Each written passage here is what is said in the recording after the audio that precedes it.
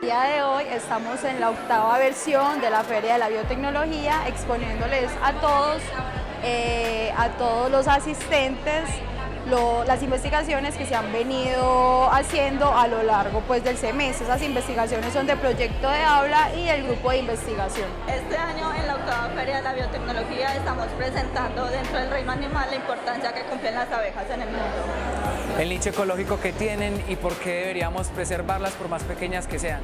Las abejas cumplen una función bastante importante en el mundo ya que eh, sin ellas no habría más del 70% de los alimentos que consumimos. Además de la ropa que estamos vistiendo en este momento, ya que las, eh, las abejas eh, ayudan a la polinización de todas las plantas de algodón. También nos enfocaríamos en nosotros como biotecnólogos cómo podemos ayudar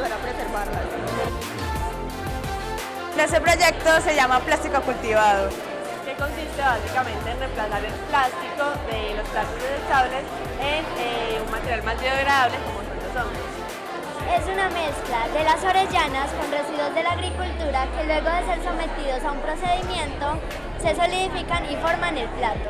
Es muy importante realizar este tipo de ferias porque la biotecnología es una carrera que todavía está muy desconocida en el país.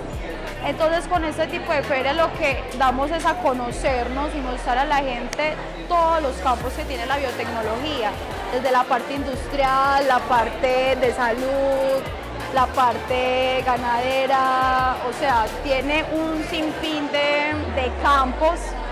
Entonces, este tipo de ferias es muy bueno y aparte mostrarle a las personas qué es lo que estamos haciendo, en qué, digamos, nos estamos basando o qué estamos haciendo a lo largo del semestre y ver los resultados.